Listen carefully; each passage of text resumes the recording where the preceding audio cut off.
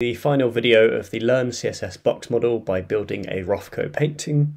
And as you can see here, we've kind of got our painting um, looking, I guess, like a Rothko.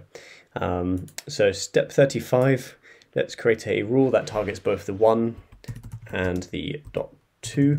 And then we want to increase their blur effect by one pixel. So if you remember that's filter, then we do a blur. And um, I think the blur was two pixels, so I guess that should be three pixels here. And let's check that. No.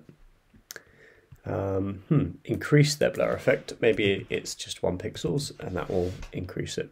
There we go. Cool. So step 36, increase the blur of three by two pixels. So let's target three. Again, we'll do filter, blur, um, sorry, blur, and that will be two pixels, like so. Ah, and sorry, we're already in the three um, sort of, um, yeah, class selector, so we didn't need to select it, and there we go. Step 37, the rectangles are too small and their edges don't have the soft quality of a painting, so increase the area and soften the edges of 1, so dot 1 by setting its box shadow sorry, again, we're in the um, sort of the one class, so we don't need that, but we just want to do box dash shadow, and that is going to be, uh, there we go, uh, 0, 0, 3px, 3px, and actually probably should have just copied the whole thing, but I'll copy the hex code, and there we go. And there we can see um, the box shadow has increased, but it's kind of blurred as well.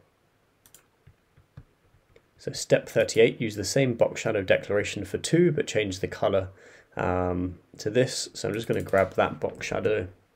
We're in the 2 class, and just want to change the color of the box shadow uh, to this hex code here, like so. There we go, you might have seen that change as well. Perfect.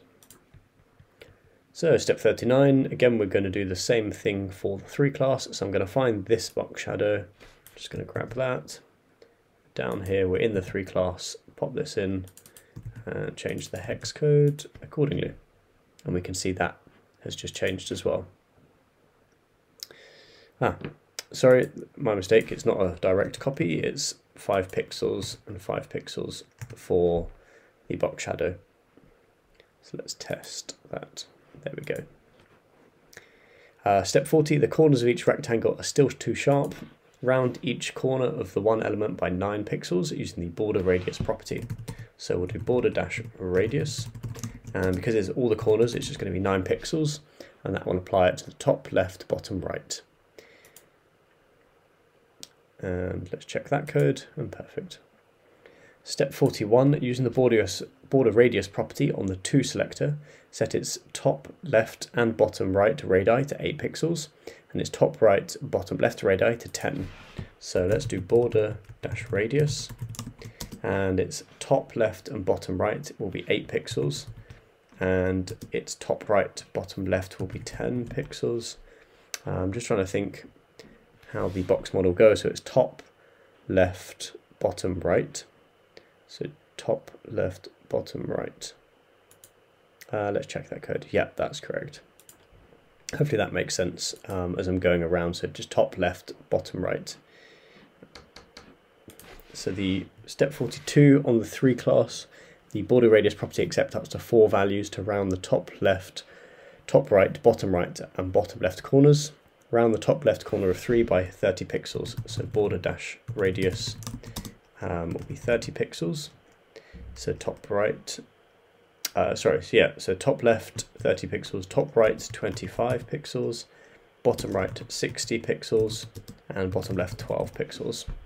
Um, I'm not sure exactly about the order, let's just check that. Oh, there, there we go.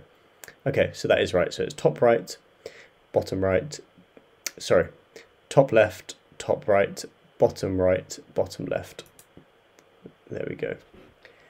So step 43, rotate each rectangle to give them a more imperfect hand-painted look. Um, and for that we can use the transform property. So we're going to transform and then we want to rotate, uh, oops, rotate and it'll be counterclockwise 0.6 degrees. And I believe, oh, we just need to spell transform correctly. Um, I believe it will be that.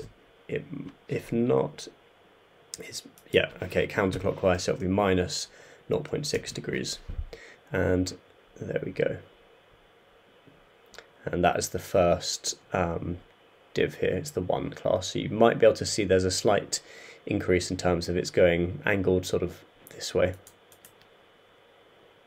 So we want to rotate the two element count uh, clockwise by 0.4 degrees. So transform, um, rotate, and that's 0.4 deg deg for degrees. And that brings it kind of going, as you can see, now going down this way a little bit, or 0.4 degrees. And step 45, rotate the three counterclockwise by 0.2 degrees.